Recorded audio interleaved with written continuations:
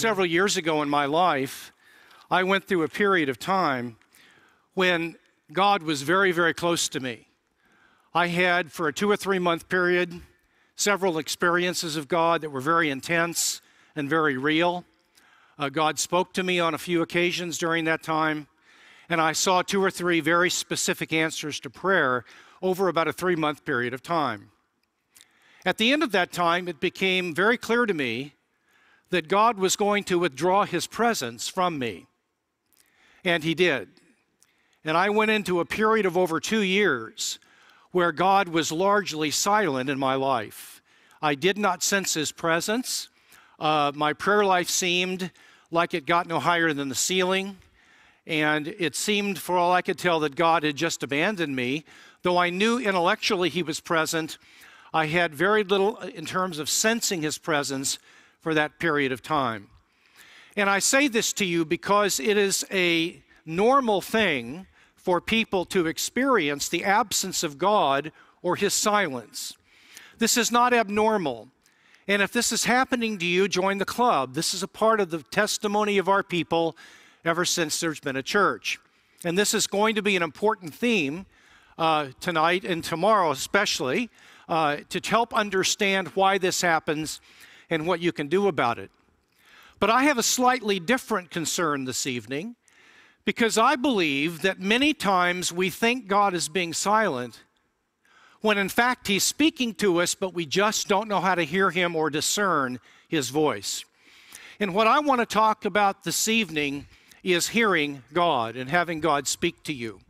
And I want to do that in two steps. The first thing I would like to do is to give you a little biblical basis for the fact that we can expect God to speak to us today, even outside Scripture, though Scripture is always the primary place that God speaks. But I will give a biblical basis for that. And then I'm going to explain different ways that God speaks to us and how to improve in discerning His voice in that particular way. So, is, does the Bible indicate to us that we ought to expect to hear God speak to us? And if the answer to that question is yes, how does He speak? And how can we learn to discern His voice in more effective ways? The Bible does indeed tell us that we can expect God to speak to us. And I think this is true in at least three different areas of life. The first is found in Philippians 3:15, where the apostle Paul makes a very interesting statement uh, in the context, he's talking about uh, having an attitude of maturity in Christ. And in a very specific part of verse 15 of chapter 3, he says the following Let us therefore, as many as are mature, have this attitude, that this attitude of wanting to grow and be mature according to what he's just said. And if anything you have a different attitude, God will reveal that to you. He'll make it known. The word reveal there is the same word as used to reveal the scriptures. And the promise is that if we are walking in a way that is not according to the way God wants us to walk, He'll make that known to us. And I can't tell you the number of times in my life when something has come to me from the Spirit of God saying to me, Jay, that is not the way you should go, or you need to apologize to your wife, or there is something that you've done that's not appropriate and God speaks to us and reveals to us ways that we have gone away from Christ's path for us, and that's very important. Now, let me say something to you about that. When God speaks in that corrective kind of way, He does not speak in a guilt producing, condemnatory tone.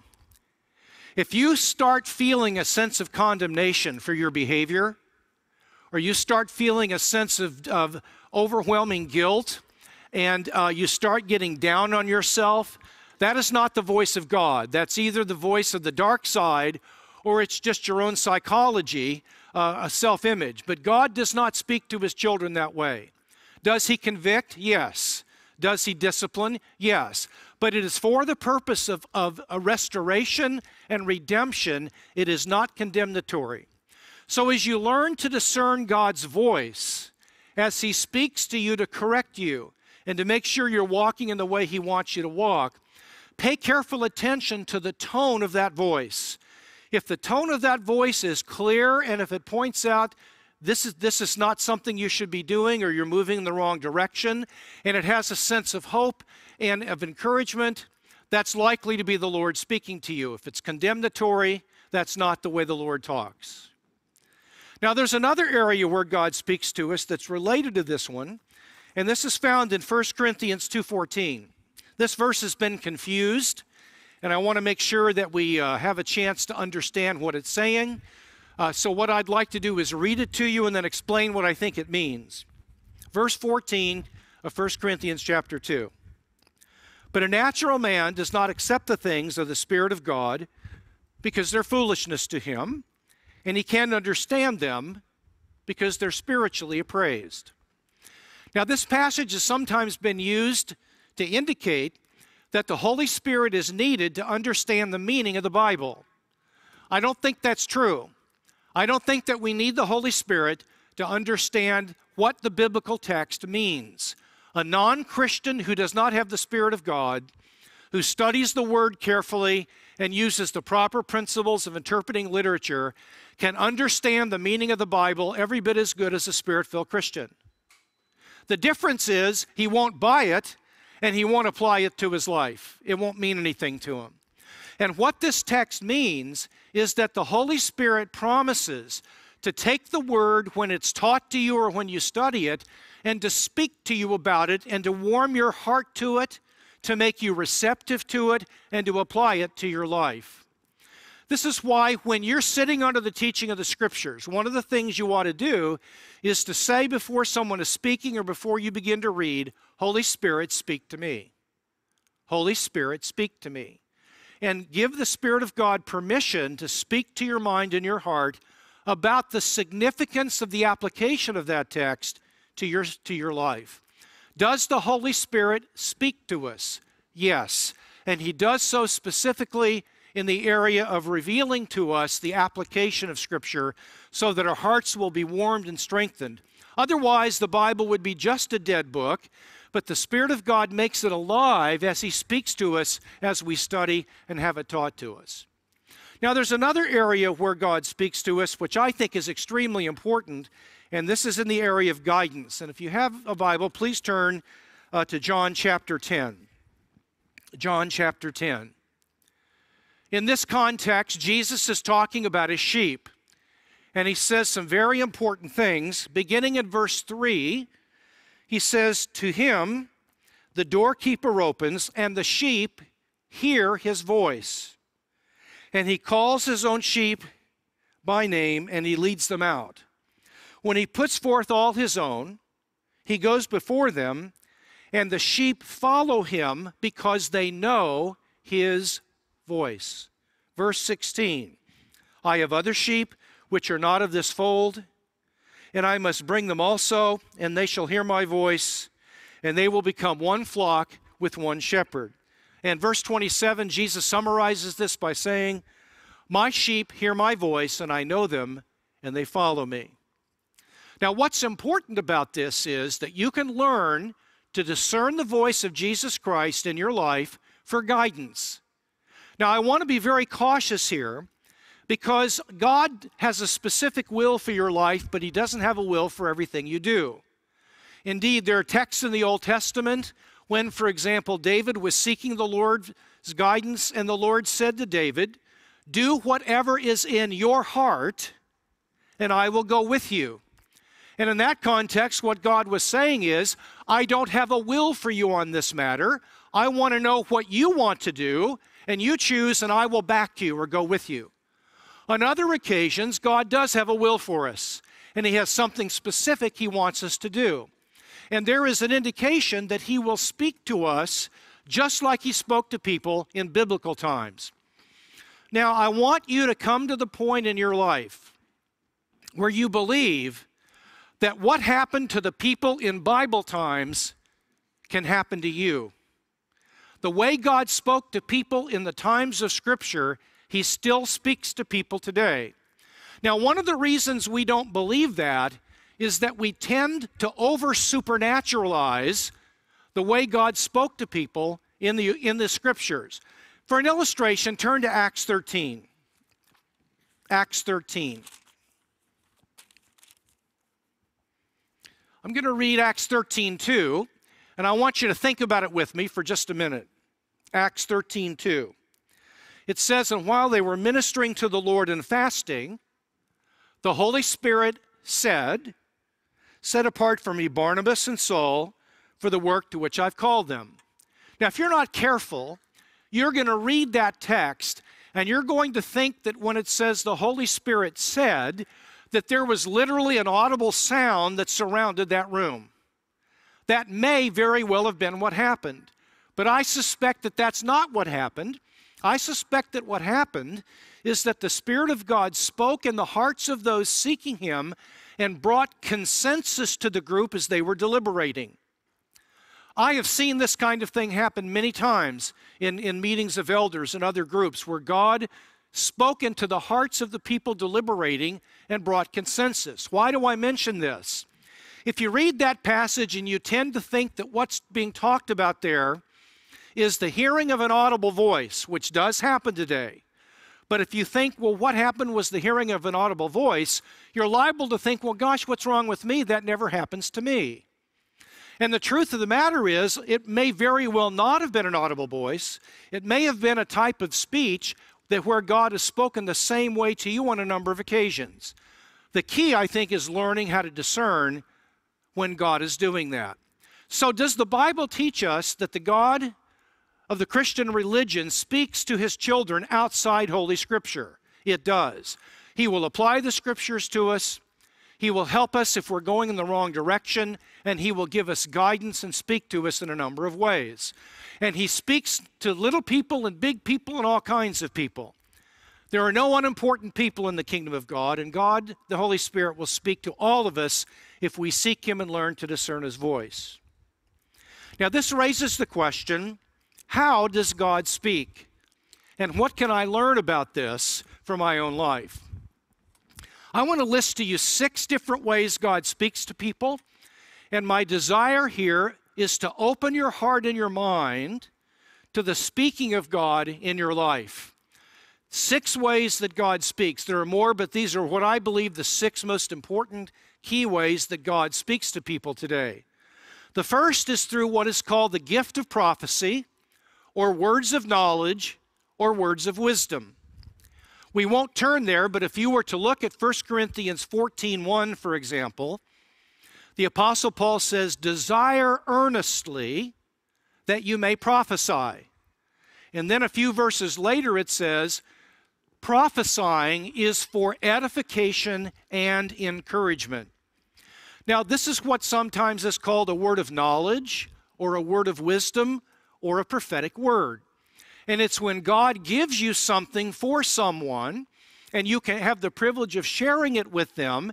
And it is a way where God speaks through a word of knowledge or a word of wisdom to someone who is listening to them. Let me give you an illustration of this in my own life. A few years ago, I went to Vanguard University to speak at a summer camp that was being held on campus. There were about 130 Korean Americans from 35 states around the country that were there for eight weeks. And during that eight week period of time, they were largely being taught by people who were staying with them for the eight week period. But they were going to have maybe four or five outside speakers, maybe one every two or three weeks during that eight week period. I spoke on a Thursday night, a Friday morning, and I was going to speak on Saturday morning. I went to speak Friday night, and there was a worship service going on, so I sat in the back and said to the Lord, Lord, is there anything you would like to say to them? And the Lord said to me, There is a young man here named Mike. Before he came here, he had a confrontation with his pastor. He has blamed himself for that confrontation, but it was his pastor's fault, not his, and he needs to confront his pastor about what he did to him. There are also students here that are being demonized and they're not able to sleep at night, and I want you to deliver them from the demonic. Now, I was about 70 30, it was the Lord's voice. Uh, when, the, when, when God speaks to me, I'm either, I'm somewhere between 50 50 and 90 10. Uh, I'm never 100 0 because I'm not even sure as a philosopher that the physical universe is real. So you'll have to, you understand, I have kind of a philosophical sliding scale here. But I was about 70 30. And I'll explain a little bit later how I knew that. But for right now, the lesson is that when God speaks to you, you don't have to be certain it's the Lord. If you're 70 30, then that's an important thing. And I was. And I said to the Lord, Lord, I'm not going to do it. Because I said, I've never met a Korean American in my life named Mike, and there's not going to be anybody here named Mike. I really honestly said that to the Lord. And then I said, No, I don't think I can do that. I need to do it. So I got up and I spoke in apologetics. When it was finished, I said to the group, I have a sense that the Lord wants me to say, and I said this. And I said, I'd like for you to get up and to get into groups of seven or eight.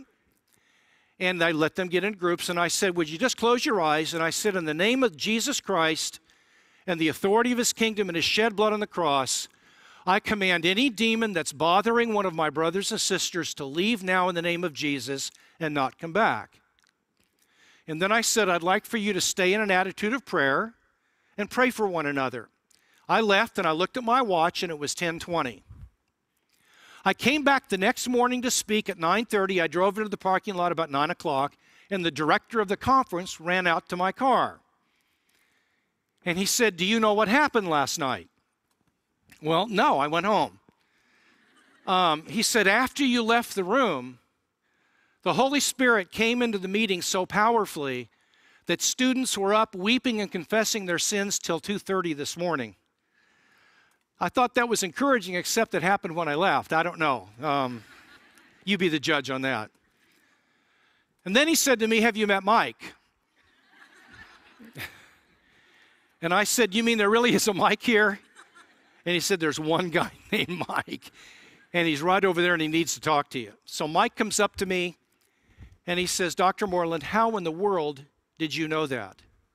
And I said, Well, I was 70 30, but that's what I sensed the Lord gave me and I felt it was my obligation to share it with you.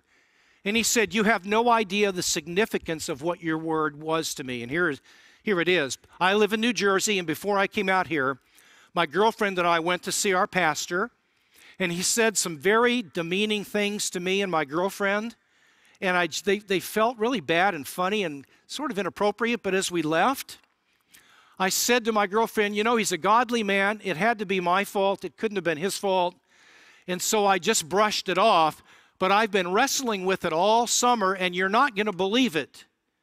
But we have four outside speakers this summer.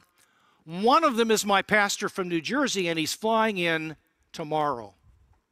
And now I know I need to tell him what he did. On another occasion, I was at our church, the Anaheim Vineyard, and we had about 1,500 people there for worship.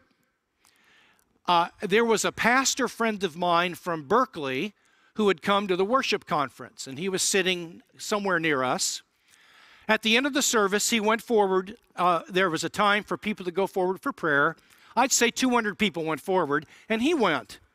So I decided that I would follow him. So I walked up behind him, and I laid my hands on his shoulder and just stood there, and I said, Lord, I'm listening.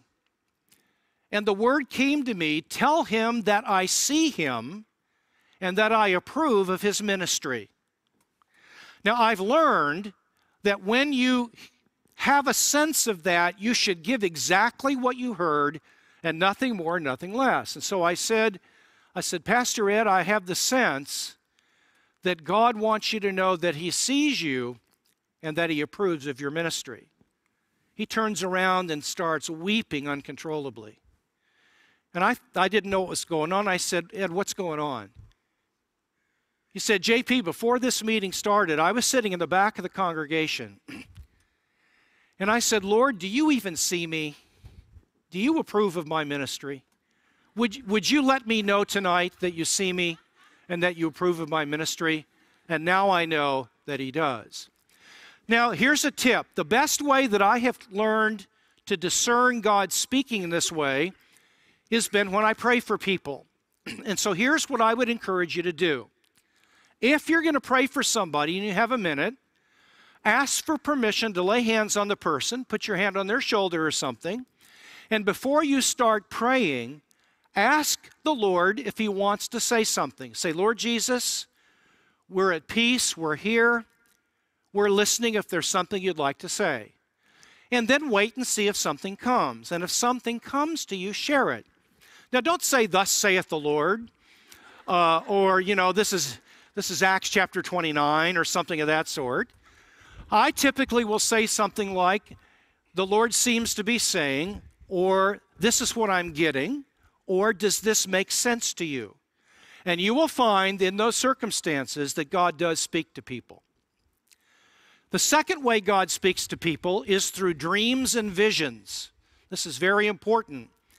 In fact, in Acts 2:17 we are promised that in the latter days, and I believe we're, we are in those days since the advent of the first coming, that people of all kinds will see dreams and receive visions, and that will be part of the expectation of the Christian church. What's interesting to me is that Christians all over the world, China, South America, Africa, regularly see visions and dreams. It happens to be Christians in North America that don't have this happen to them very much because we don't tend to be very open to this kind of thing.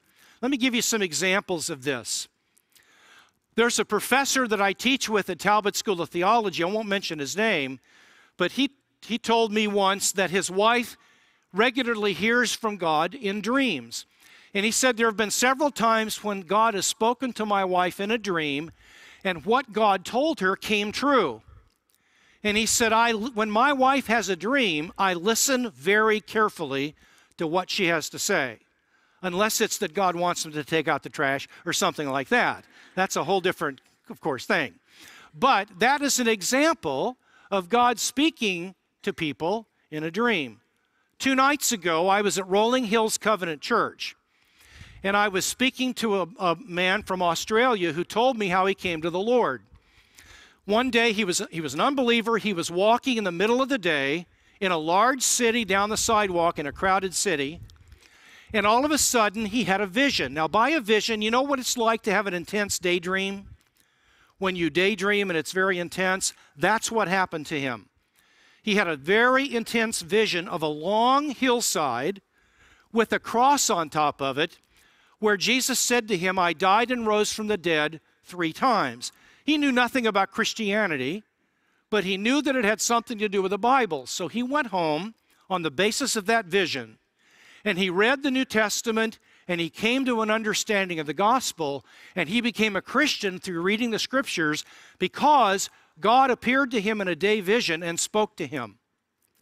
Two weeks ago, a friend of mine uh, told me a story about when she went. Uh, it's actually a, a, a friend of mine told me, a very close friend of his, went to the supermarket recently, actually out here in Southern California, and she was in the checkout line, and right in front of her was a, was a Middle Eastern Muslim looking man she got a strong impression that she was to, and he picked up a copy of the National Enquirer. She got a strong sense that God wanted her to tell him to put it down. and she was a very quiet person. She wasn't prone to that kind of um, aggressive activity. So she looked at this man and said, You know, sir, that's not good for your soul. You really ought to put that down. well, he turned around and looked at her and said, Listen, you are a holy woman. You are a holy woman. And he repeated that about three times. She was so encouraged by his response, she said to him, Sir, after we've checked out here at the supermarket, would you meet me out front? I'd like to talk to you about something. He said, I will. He checked out. She checked out behind him.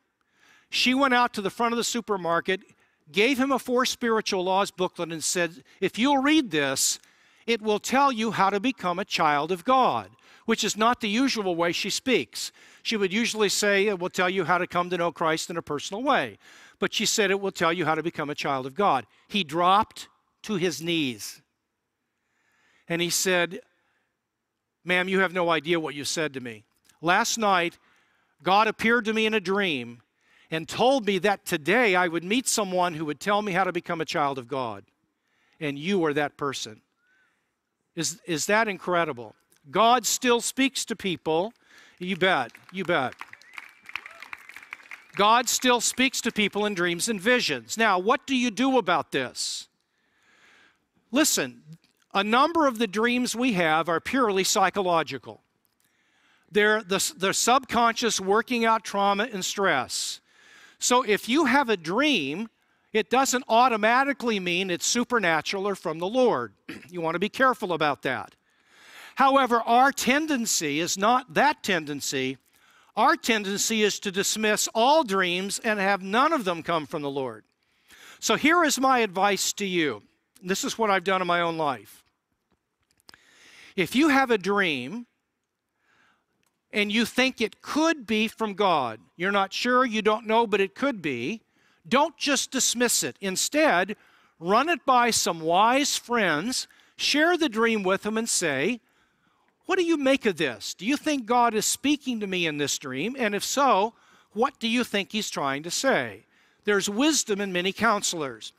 So, my warning is that not all dreams are from the Lord, and I have no idea what the percentage is. I would dare say most of them are just normal. But I do know that God still speaks to people in dreams.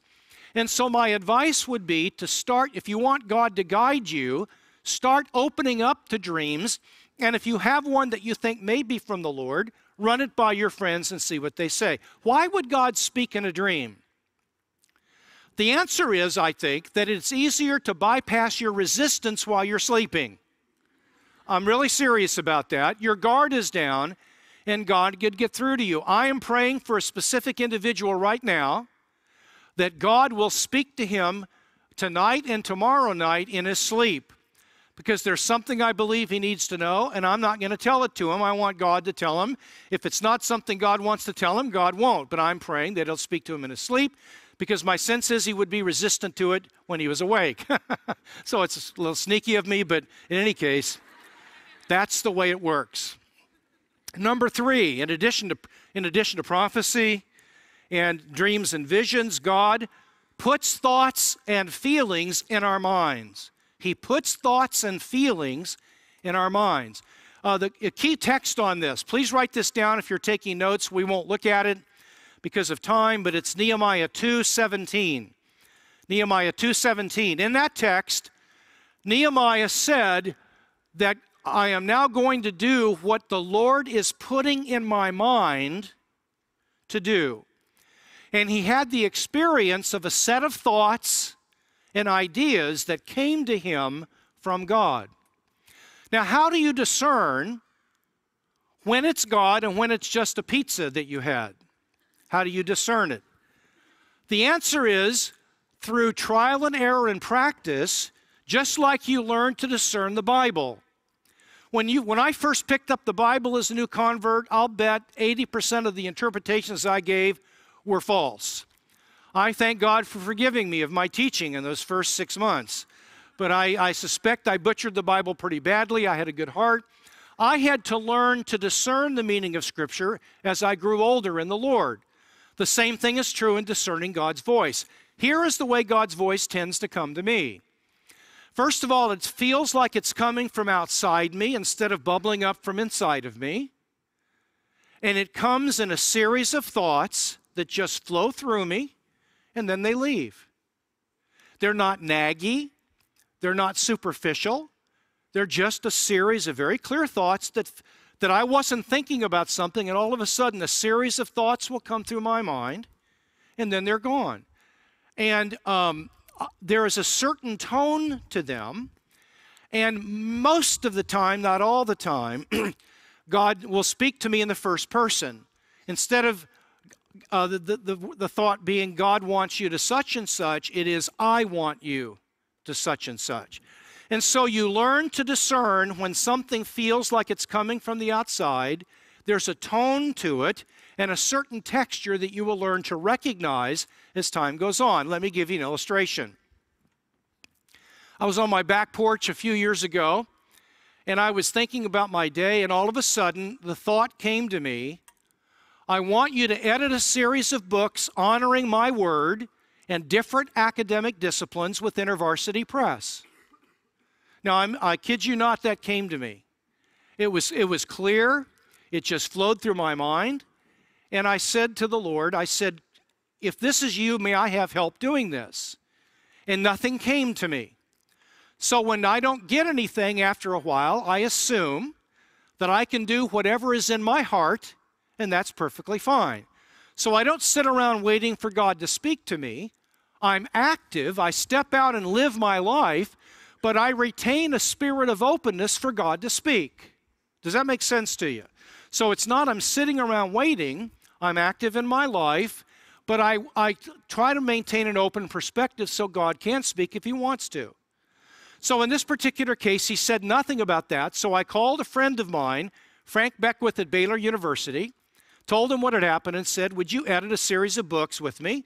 And I think InterVarsity is going to publish it. So I came, I came up with a proposal, sent it to InterVarsity Press, and they said, We're not interested. Now I can remember thinking, That's not the way this was supposed to work out. And I was pretty confident it was God who'd spoken to me. So I did something I've never, I had never done in my publishing career up until that point. I took the proposal and reworked it, and I sent it back to the publisher and said, Would you please look at it one more time? That's usually not a good idea because you can badger a publisher and they remember those things. But I went ahead and did it. Well, Andy Le Peau at InterVarsity Press looked at the new proposal and he called me and said, We really like this we're going to publish it. And now there is a series of seven volumes that are out on what's called the Christian Worldview Integration Series. Paul Spears, John Coe, Gary DeWeese, Tim, uh,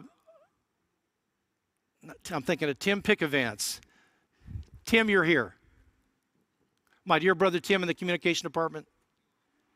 Yeah, Muehlhoff. I had a senior moment. I was thinking of Tim Pickavance. He wrote one of them and uh, a number of Biola faculty wrote this. Uh, God wasn't speaking to me then, let me tell you. I was having a senior moment.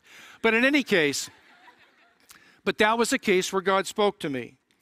Um, I had another experience where I went out jogging and I was going through a period of very serious personal depression and anxiety. This happened nine years ago.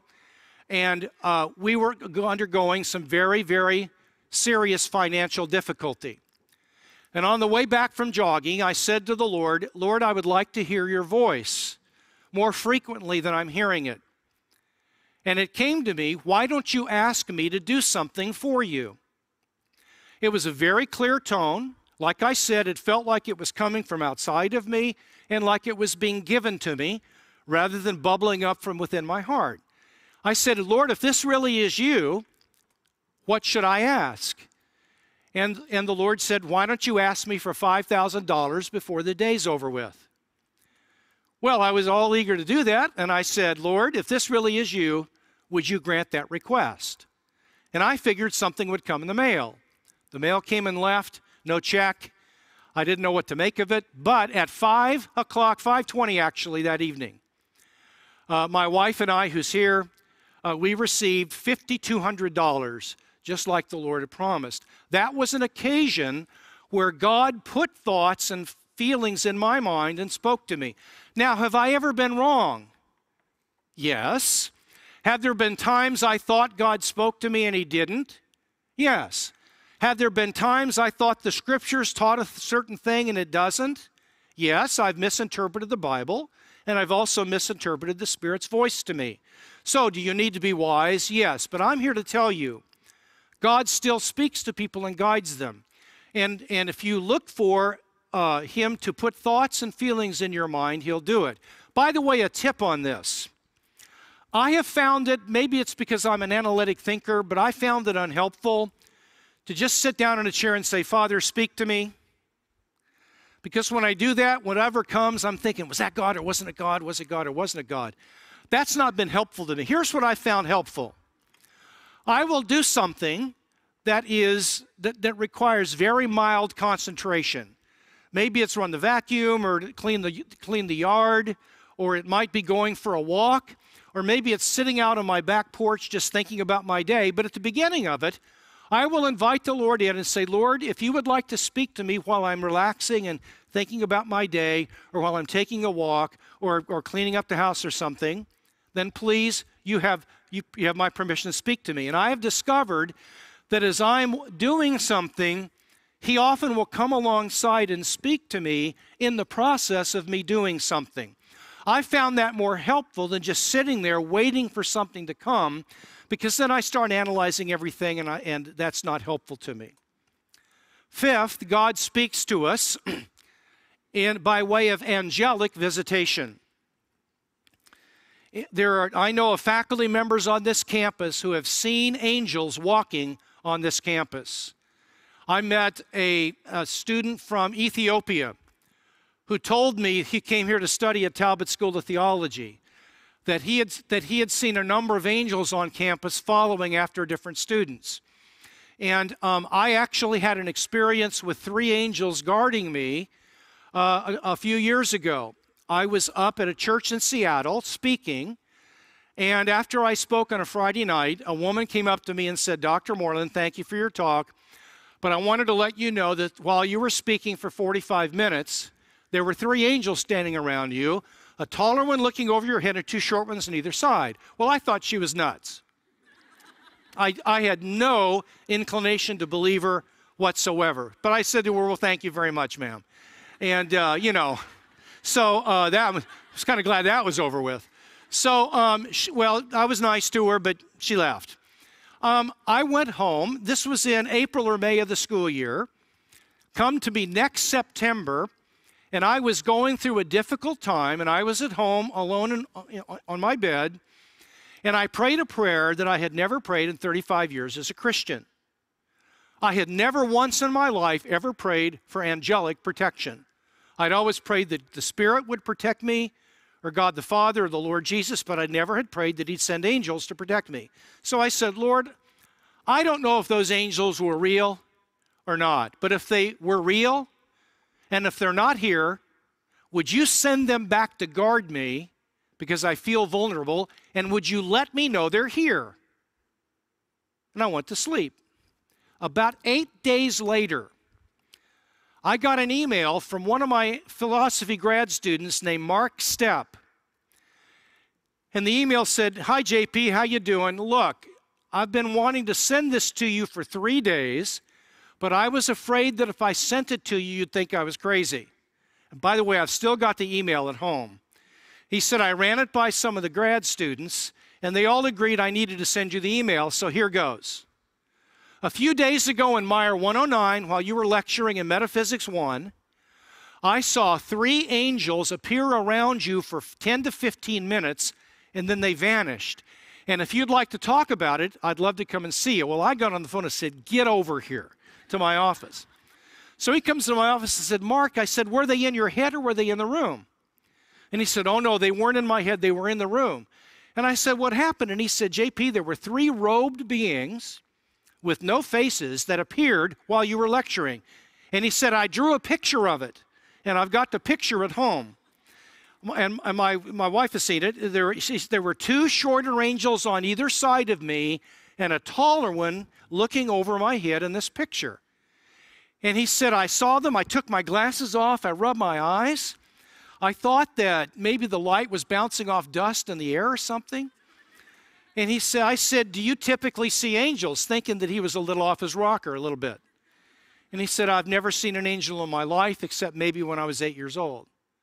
No, I don't see angels.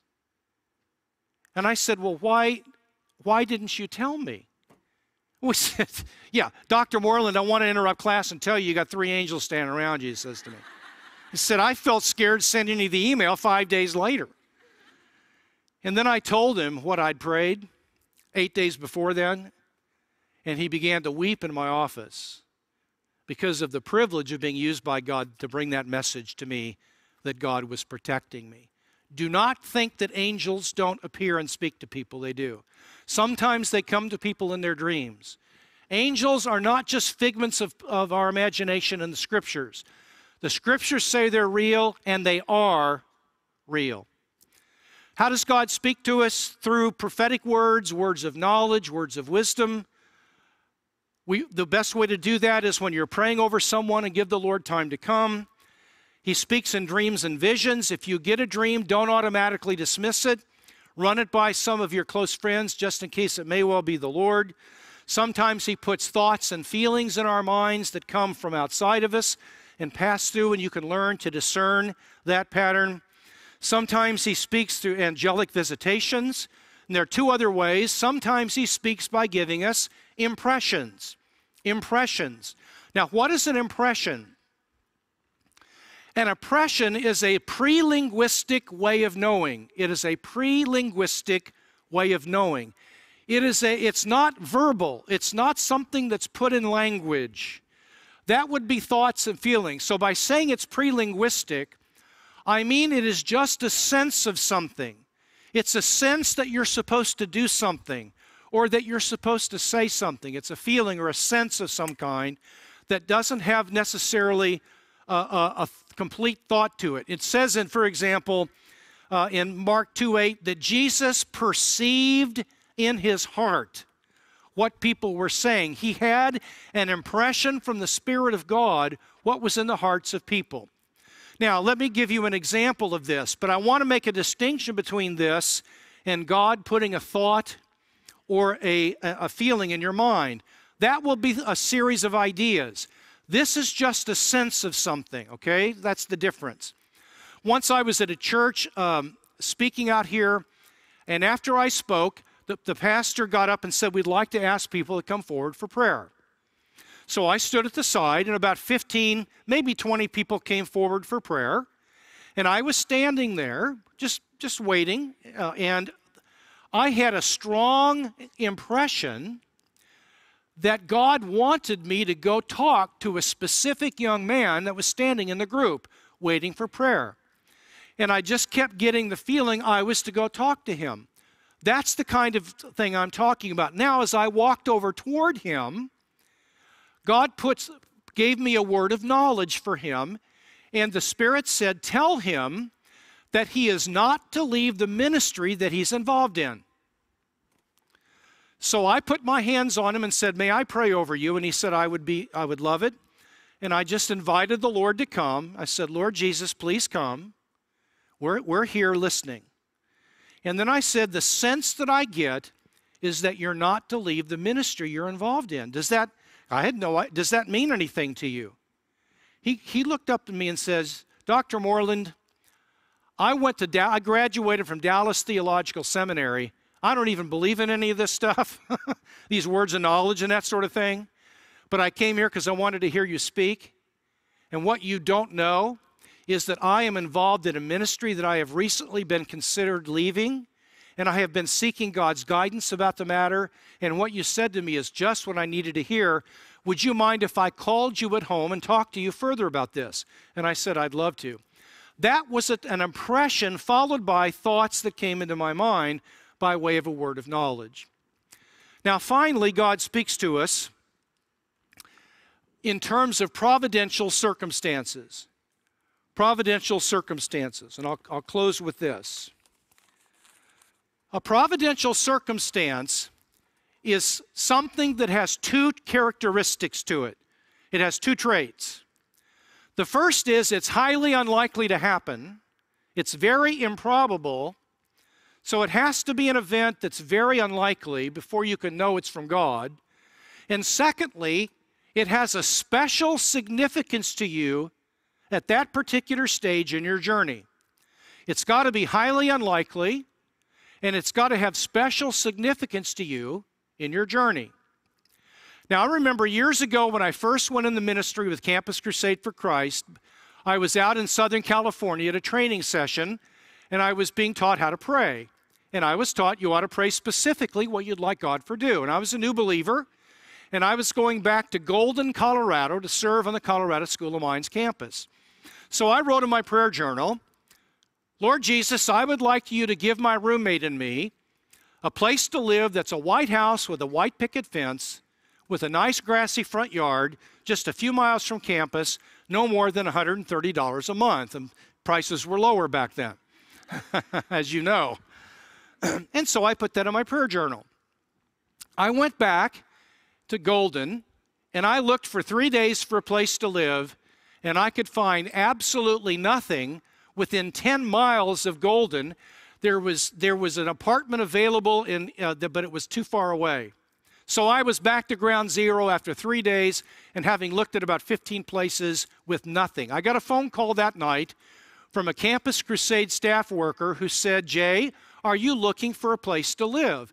She had no idea of my prayer. I said, Yeah, as a matter of fact, I've run out of options. She said, I was at Denver Seminary today, and on the bulletin board, there is a pastor who's listing a place in Golden he wants to rent out to Christians. Here's his number. So I called this pastor and scheduled to meet him the next morning. And when I met him, I drove up, God is my witness, to a white house surrounded by a white picket fence, a nice grassy front yard, two miles from campus, $110 a month. Now, I had a sense that God wanted me to move into that house. okay? Now, look, if I'd gone back there and I had just found the place to live, that would have been no indication that God wanted me to move in that house. But the White House with the white picket fence was pretty clear because it had two characteristics. Number one, it was an unlikely thing to happen. Number two, it had a special significance to me because that is exactly what I was seeking the Lord about. A, little over a year ago, my son in law was wanting a job where he could work in a certain field uh, and be surrounded by solid, good people and have Christian bosses if possible. Well, in this case, guess what happened? A door opened up for him to work in an area that matched his training, and the, both of the bosses were on fire Christians. We took that to be an indication that that was an open door God was making for him because the event was unlikely to happen and it had a special significance to him in light of what were the desires of his heart. And my, my word to you is then, if there are desires in your heart and something happens to satisfy those desires that is unlikely to happen, it's improbable, there's a good chance the Lord is leading in that direction. Now, let me close with just one final word of encouragement. Does God bring us into times of silence where we don't hear his voice. You bet. Has it happened to me for long periods of time? Are there times when God hides and withdraws his presence? Yes. Do we need to learn what to do with that? We do. And that will be the topic of tomorrow. But I maintain that we live in a supernatural world. The physical world is not all there is, there is a God. There are angels and demons. There is an unseen world, and that God communicates with his children. And the key for us is not whether God communicates, the key is learning to recognize when he does and when he doesn't. And what I've tried to do this evening is to share with you some of the ways that God speaks to his children today. And I've tried to offer some suggestions as to how you can get better at learning to discern his voice. Biola University offers a variety of biblically centered degree programs, ranging from business to ministry to the arts and sciences. Visit biola.edu to find out how Biola could make a difference in your life.